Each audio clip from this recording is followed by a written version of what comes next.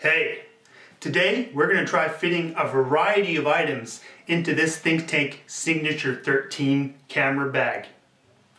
A really quick overview of the features of the Signature 13 shows that it has leather, real genuine leather underneath, on the shoulder strap, on the handle, as well as genuine leather. It has metal cusps, which are very durable. They can turn. It's really practical. The wool-like fabric has a rain-resistant coating. But if you want to take it out into some real bad weather, this comes with a rain shield. It only takes a few seconds to attach it. Now your camera gear is 100% safe. What's interesting about the Think Tank Signature 13 bag is the quilted separation pieces of cloth. These can be removed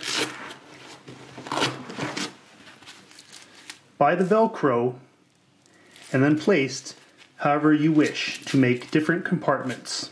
For this first load, we're going to stick with this configuration of three separate compartments.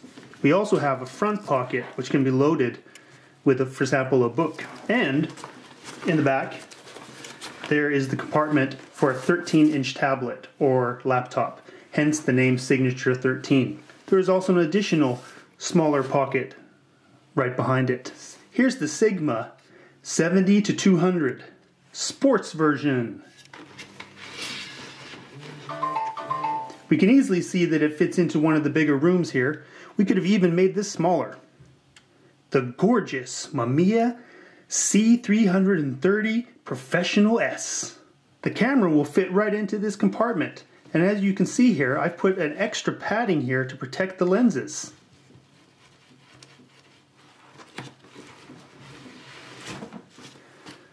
Slips right in with even some roof space.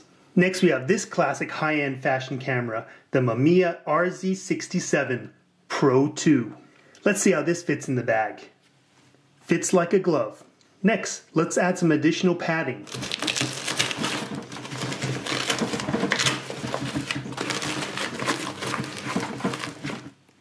This now created a new department. Let's now remove the Mamiya C330 and add in the RZ's lens.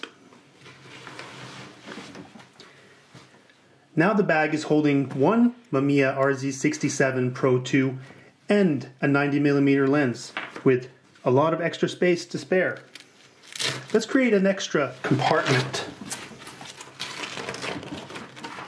This, insert that right over the lens. Now we have an extra room for an additional lens.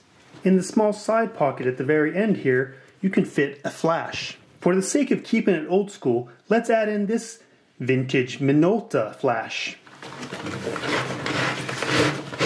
Fits in very tight. If you want to add a digital camera to your bag, you could add that right here.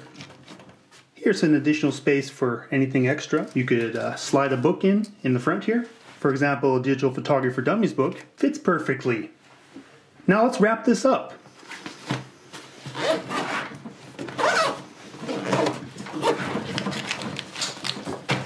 Now we have one old school packed bag full of old school cameras. Let's check out another setup real quick.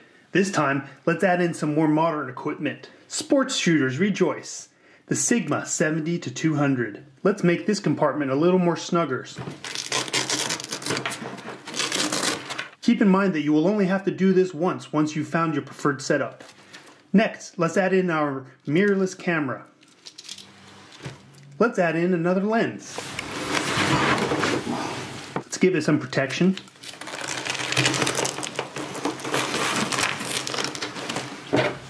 And then let's slip in an adapter. Let's add in the charger. A cloth. Rocket air. Optic spray. A backup battery. As you can see, we still have much room to spare. Let's add in a speedlight flash. Just Put that in the front pocket, snap on the buckle, zip up the top, buckle in the top. Now we're good to go. Let's take a look at an alternative setup.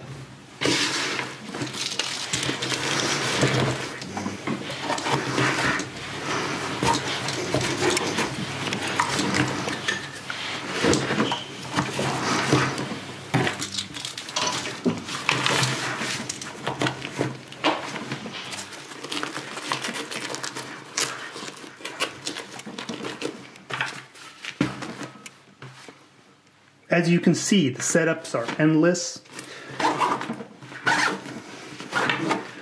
You can just keep experimenting until you find your perfect setup. We're set to go. We sure did fit a lot of items into our think tank bag today. Let's take a look at all the items we actually managed to fit in there today. The Mamiya C330S. The high-end fashion camera, the Mamiya RZ67 Pro 2. And I've got a 90mm Seiko lens. The new Sigma 70 to 200 2.8 Sports. Don't forget the lens hood. My favorite portrait lens, the Canon EF 85mm 1.8. Here's the Godox flash. This is the TT685. The old vintage Minolta flash. I love my analog. So those were some of the items we fit into our bag today. Subscribe my channel if you want to see more exciting videos like this. I keep them coming almost on a daily basis. See you guys around.